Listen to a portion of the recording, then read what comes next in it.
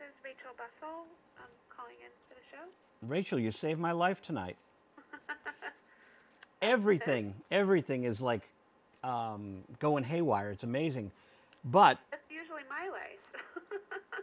well, here's the interesting thing: we're tape. We're on tape. We're going to tape. okay. We're not on live, okay? Okay.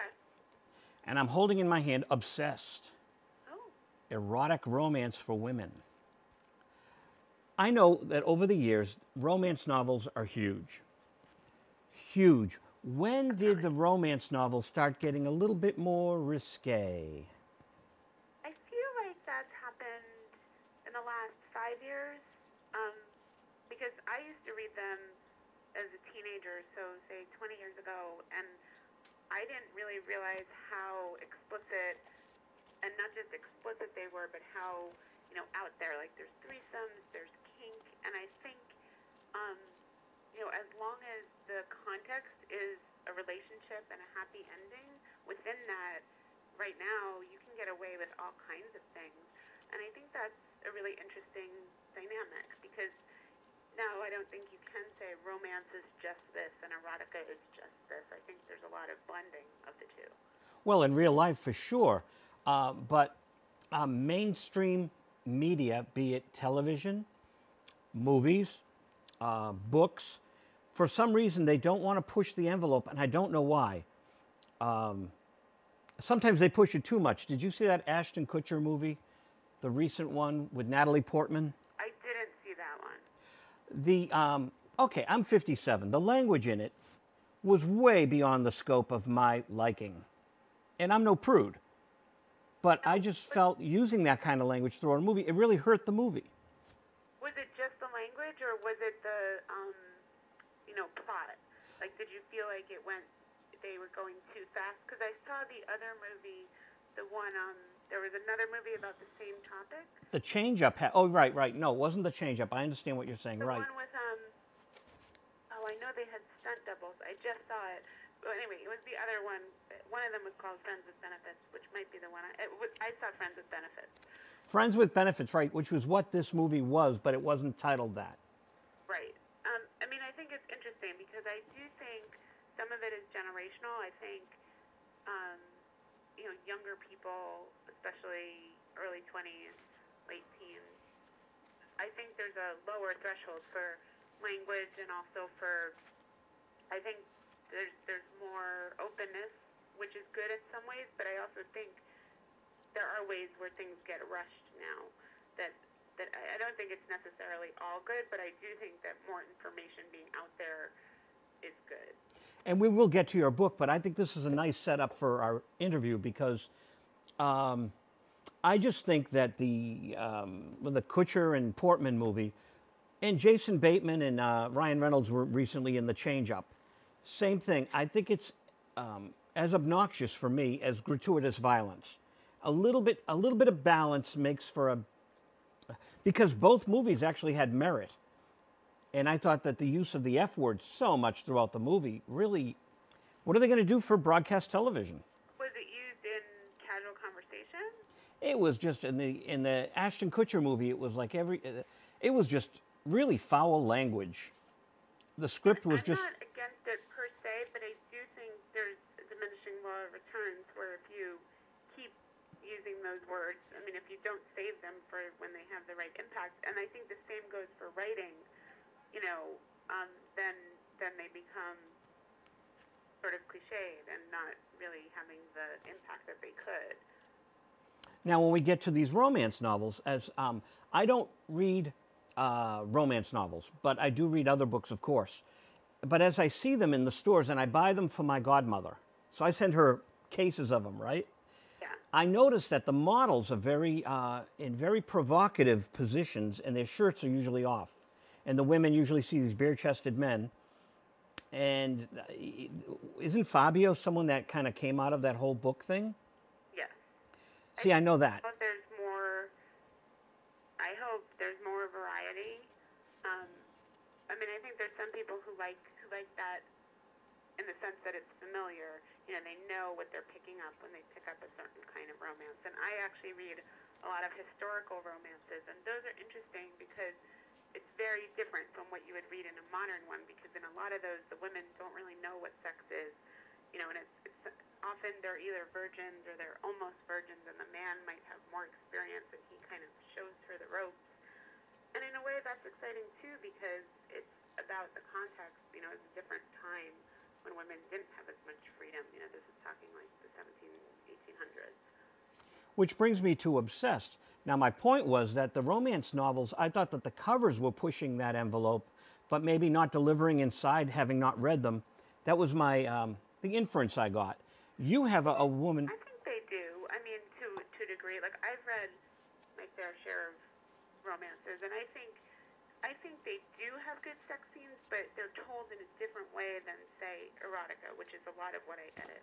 And then for me, obsessed kind of merge those two. So it's erotic and there are dirty words and it is sexy, but it also has that romantic love angle.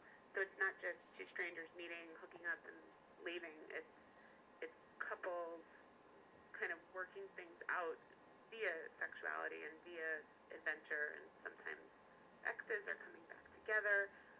Um, and and I think it's it's interesting for me because it's a little bit different than what I normally do, which is more the focus is less on the couple and more on the sex. And now, it's the opposite. You have the story, I Want to Hold Your Hand. It must be interesting being the writer and being the one putting the compilation together. It is. I, I, you know, not everyone does that, but I like to do it partly because it's a challenge for me to, you know, how am I going to approach the topic in a way that has that isn't repeating what everyone else has done and it, this one was especially a challenge because that's not my usual style. I'd say my usual style is a little grittier, maybe, but but it was really fun to think about something that I do think a lot of people care about. You know, what happens in a long-term relationship when one person changes, and in this case, in my story, it's about the man losing a lot of weight and becoming sexually desirable to other women and the woman being kind of jealous about that and uncomfortable.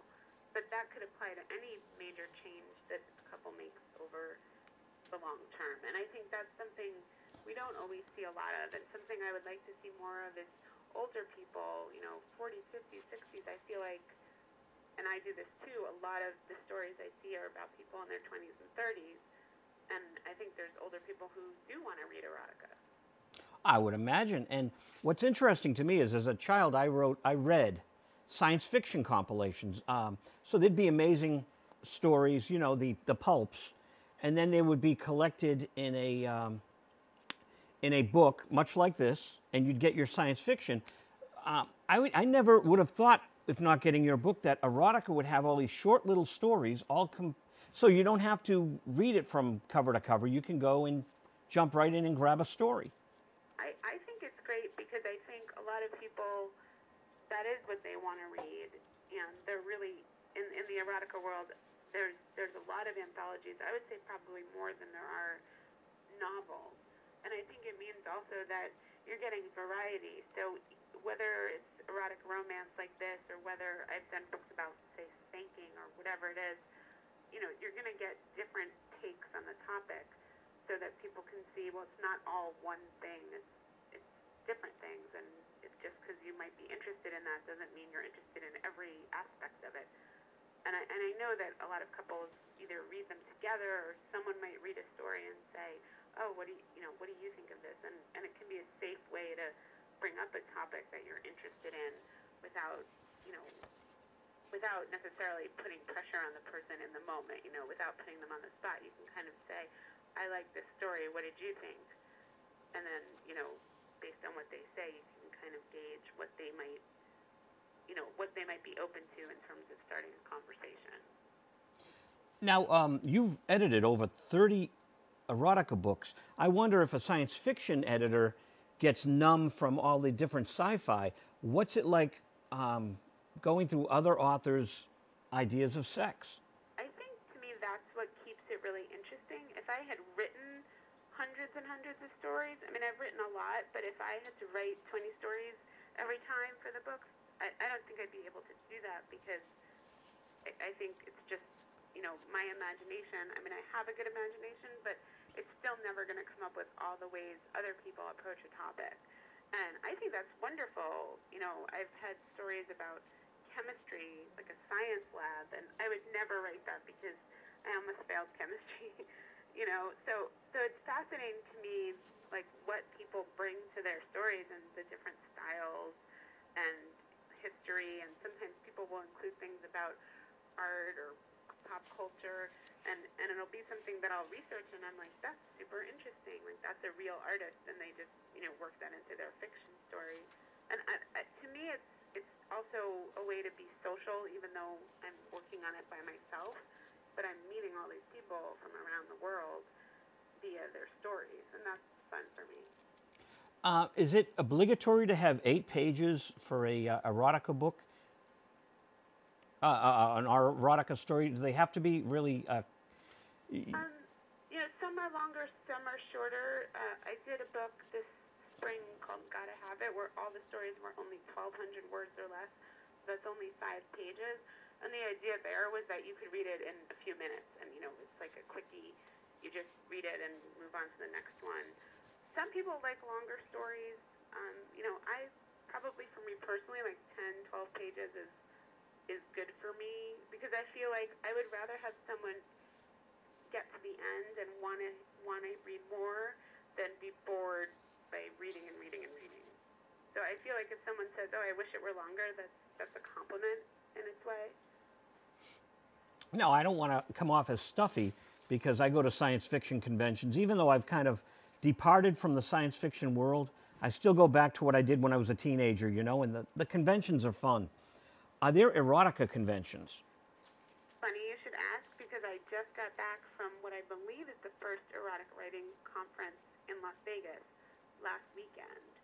And it was mostly geared towards writers, so I don't know if these conventions that you're talking about are more like Comic Con where there's also fans so this was mostly aimed at people who want to write or who are writers and want to learn more. But I think if they do another one, definitely there could be a, community of people who, who aren't necessarily writers, but you know just are interested in reading.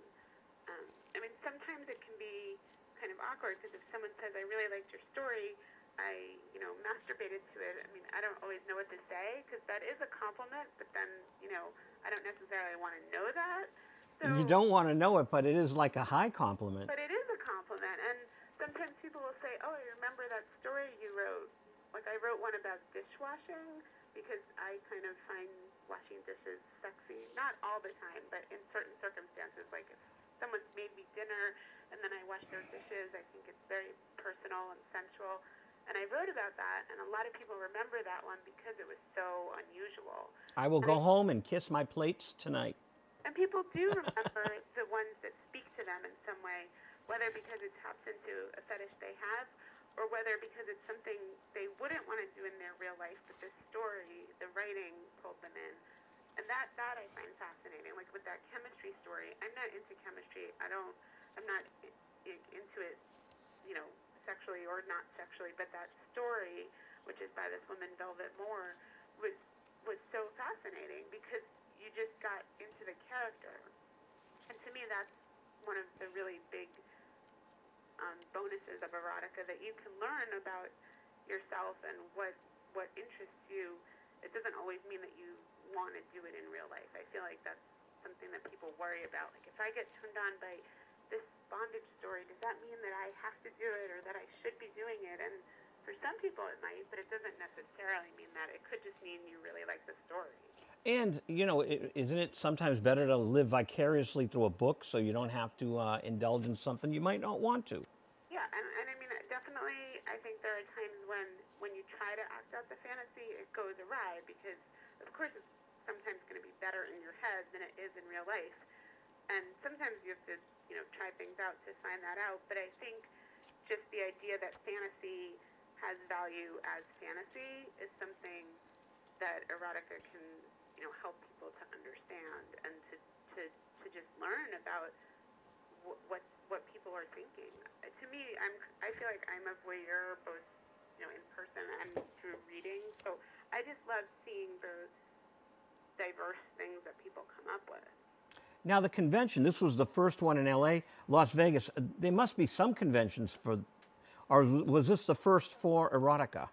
For just erotica, I believe so. I mean, there's been things about erotica at, at other kinds of conferences, but this was just about, you know, erotica, and it was it was very interesting because people who some people write more in the kind of science fiction, fantasy realm, and some people write more realistic things. I was on a panel about using your personal sex life as fodder for your stories, and it was very interesting because everyone on the panel had in some way used something that happened to them in fiction. Um, You know, um, HBO has what real sex, and I think it is so poorly done, and um, how come? I just feel that it's like um, Sensationalistic? Reality TV, and and it just doesn't have the charm for me that a good solid movie does. And I don't care if it's erotica or science fiction or just a good story about human existence. I just uh, like Taxi Cab Confessions. I can't watch that. You know, your book has more substance. Your book is, uh, uh, you know, fun. You can jump into it. You can jump out of it. But I feel that some of those shows fall flat. Because it feels contrived? Yes, and I know that um, Taxi Cab Confessions. I know a musician who, uh, you know, told me basically the director called him up, and they are contrived. There- There's little spontaneity, and at least the fantasy you can be spontaneous in a book, and write and a writer can be spontaneous. I think an actor, it takes a real talent to do that. I guess, yeah. I mean, I don't watch a ton of reality TV, but I feel like if I do, I kind of suspend disbelief because otherwise I wouldn't enjoy it.